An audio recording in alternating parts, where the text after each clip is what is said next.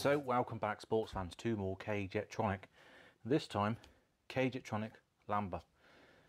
Well, you know, is there not enough? No, there's not. This one, we've got K-Jetronic and this with a fuel injector on the side and some pipe work is K-Jet Lamba, Lambda, with a Lamba sensor, or a Lamba probe, which came before KE Jetronic.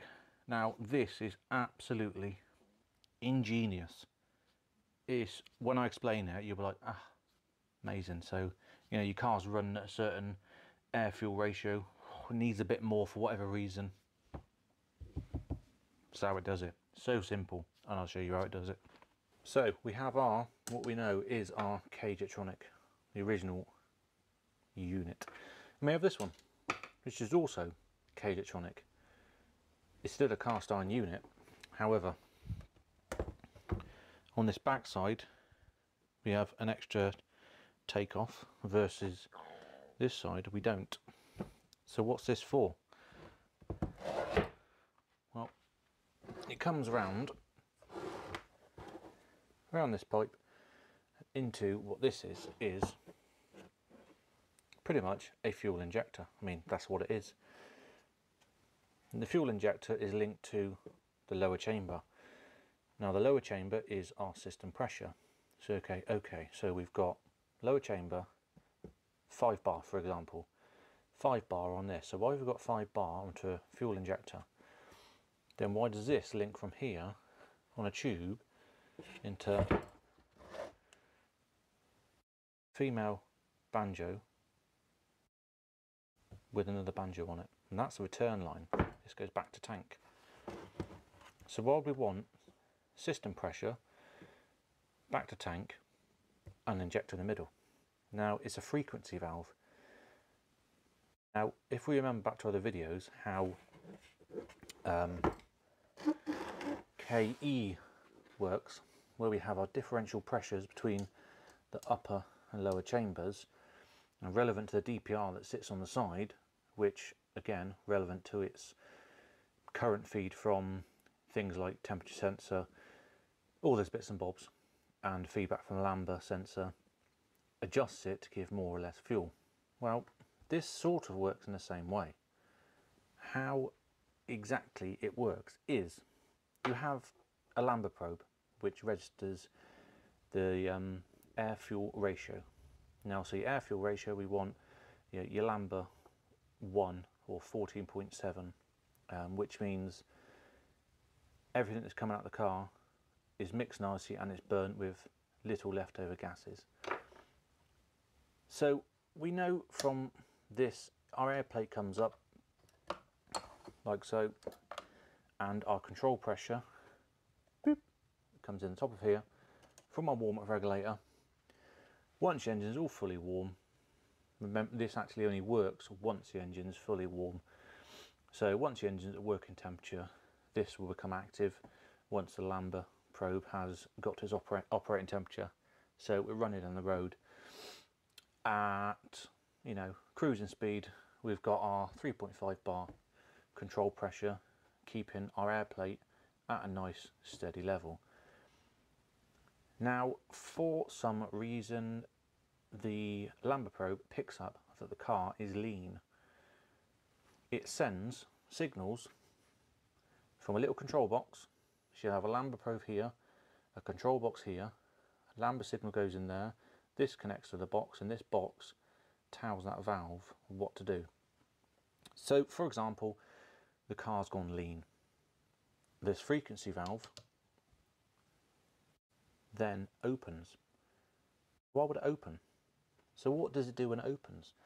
System pressure, back to tank. So if this opens, fuel can then, system pressure can then go back to tank. So if this opens a certain amount, this system pressure inside here, for example, will drop to 4.8 bar. So we've lost 0.2 bar fuel pressure. Now how does that make a difference? Well, we've lost pressure in here, but the plunger is still moving up. It's still sat where it is. The air's still going through and the fuel's still going out. So how is this going to affect? What, what difference does it make? Now I'll bring our dummy toy over so we can mimic and see what we're describing. So we're driving down the road, cruising, our air plate is up, our set amount of fuel, remember in the cage it's all linear, relevant to the air plate, relevant to how high the fuel plunger goes in the body, means how much fuel comes out. And we have our diaphragm in the middle, which has an equilibrium between the middle. So if no fuel is coming on the top and the system pressure on the bottom, it's closed. As soon as the fuel pin comes up, diverts more fuel to the top. The top becomes the governing body and the bottom is not. So the diaphragm will then divert down, which allows fuel to go out the injector. So picture that's doing that now. Our diaphragm is at a set deflection with the fuel coming through out the injector. Switch fire to our frequency valve unit. The control box has told this to leak off X amount of system pressure from the bottom. What does it do then? Well, it takes the pressure off here, but the fuel volume is still going through to the top. So there's less pressure now. There's 0.2 bar of pressure less, for example, acting on the bottom of the diaphragm, which means the fuel that's going through allows di the diaphragm to deflect slightly more, which in turn allows more fuel to go back out. Remembering, even if this fuel pin's up and sending X amount of fuel through there, out the injector, the diaphragm sits at a set point. If you lose pressure at the bottom of here, that diaphragm will deflect down. Still with the same force pushing down on it, it just means it moves further and lets that bit more fuel out. So we've got a bit more fuel coming out because this has leaked off system pressure from the bottom. Now then in a couple of minutes or so, the Lambda probe has picked up that the air fuel ratio is back where it wants to be. So it shuts this valve. So the valve now shuts, so there's no system pressure leaking off back to tank. So this is now back up to our 5 bar. So from 4.8 is back up to 5 bar. So now our lower chamber has now gained an extra 0.2 bar of pressure. What does that do? Exactly the opposite of what we just described. Our pin's up, our set fuel is coming out, it's deflecting the diaphragm and letting fuel come out the injector port. Now we've got extra pressure, or our normal pressure back in here. That then prevents that diaphragm in the bottom deflecting as much. So the force comes back on it, which means flow of fuel coming out starts to reduce. So just to recap, the frequency valve controls the pressure in the lower chamber. When the frequency valve is open, it creates a pressure differential between upper and lower chamber, which allows the diaphragm that sits in there to open more, thus giving more fuel. So that is how our frequency valve works in basic terms. Now how can you test it? Well, it's an injector. Two pins on it. And it's very simple. Firstly, if you're not building system pressure,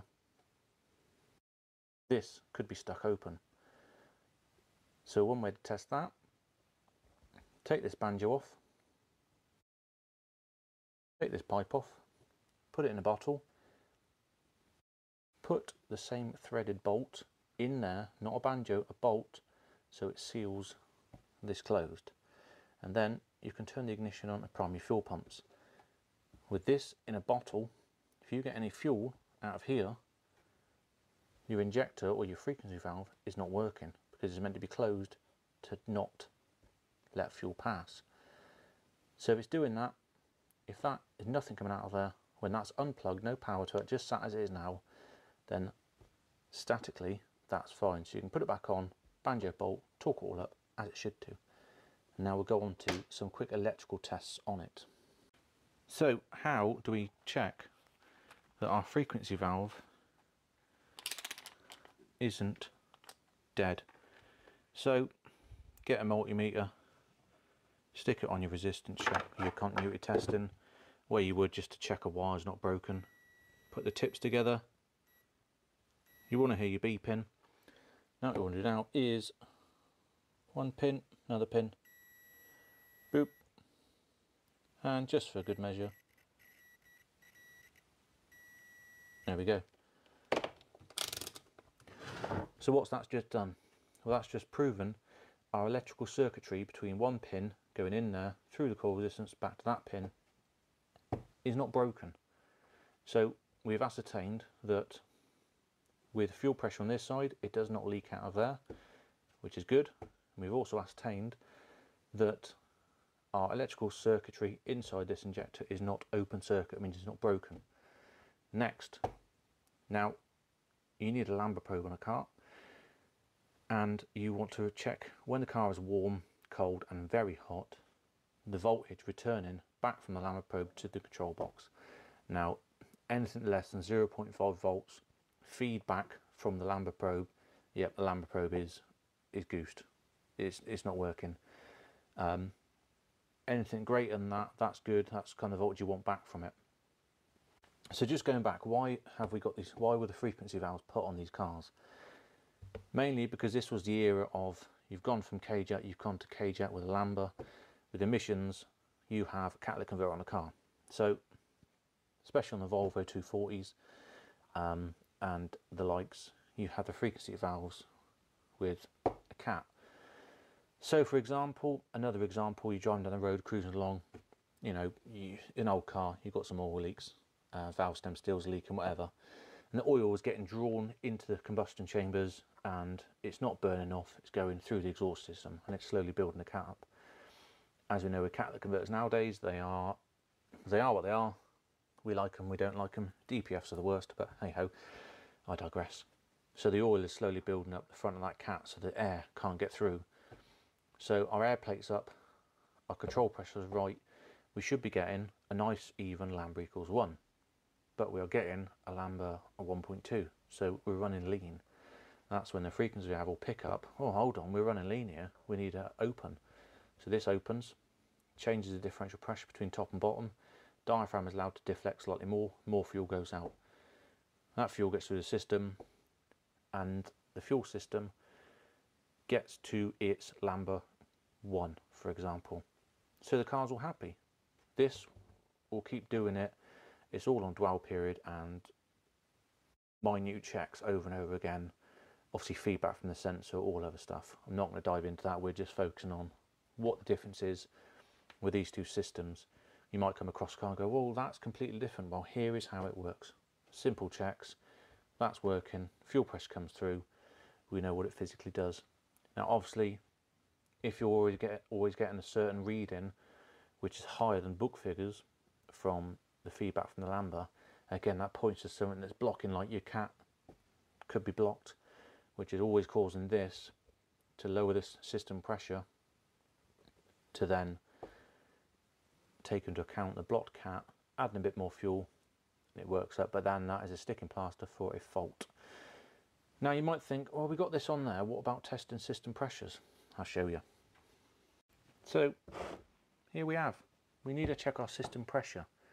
So we take our pipe off there and the one that goes to the warm-up regulator, we connect them together and we have our gauge set up.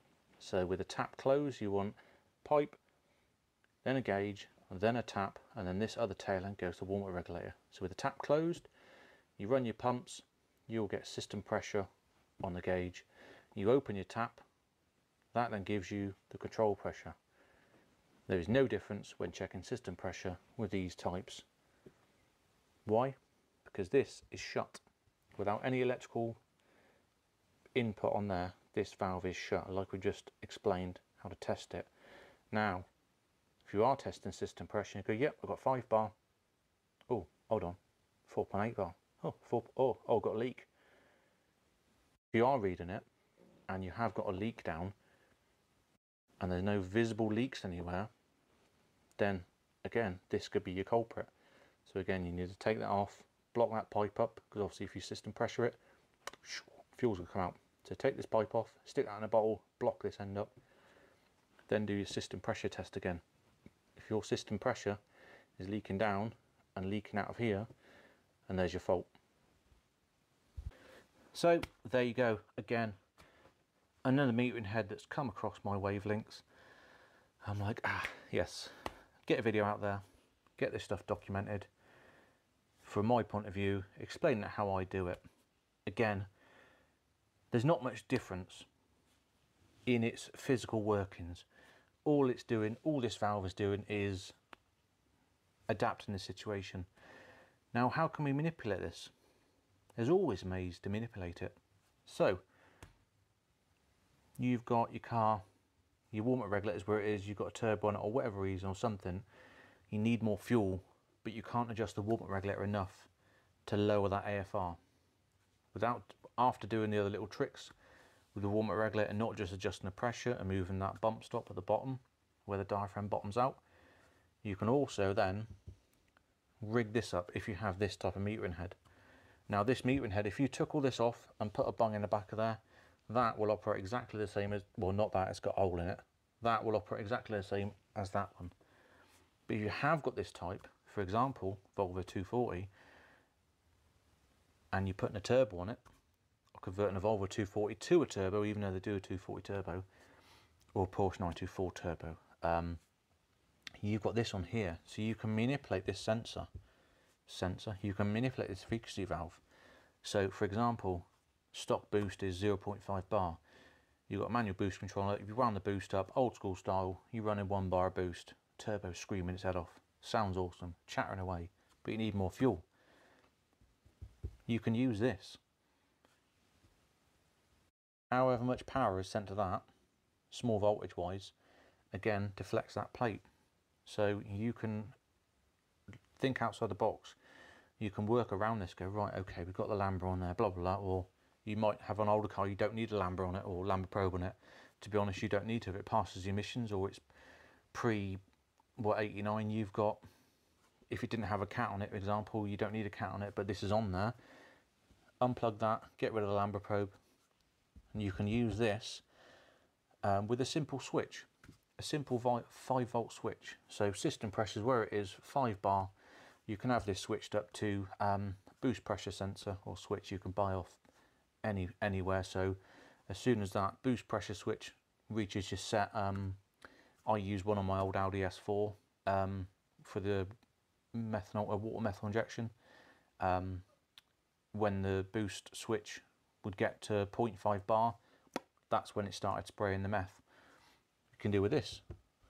So when you reach, you know, half a bar or 8.8 bar or whatever you want to set it to, you can have that switch set up to here so you can have a constant, uh, you know, 5 volt feed, half of half a volt feed from some other element, you know, you um, what are the sensors you got you can take the feed from? Load, you can have a look, but what I'm trying to say is you can manipulate this system to change that differential pressure providing more fuel for example when you're under boost and then when you come under that boost level you know 0.5 bar stock 0.8 bar is what you've wound it up to so as soon as it hits 0.8 bar boom that activates, lowers the pressure gives more fuel as soon as your boost drops below 0.8 bar switch switches off that disengages you back to normal running That's what I love about K-Jet. There's so much you can do to manipulate the systems to make it work. And they're old cars, so we haven't really got to abide by your emission standards or emissions levels. Unless it's got a cat on it. If it's got a cat, you know, find a friendly MOT station. But anyway, that is uh, that is KE Jetronic Lambda or Lambda, however you want to pronounce it. Frequency valve, simple pipes. It's manipulating the system via an input on there to move that diaphragm, let the diaphragm deflect a bit more, more fuel can come out. As soon as that shuts off, the diaphragm goes back to its normal deflection, normal running is resumed. So there you go. Thanks for watching. I'll see you in the next one. Bye.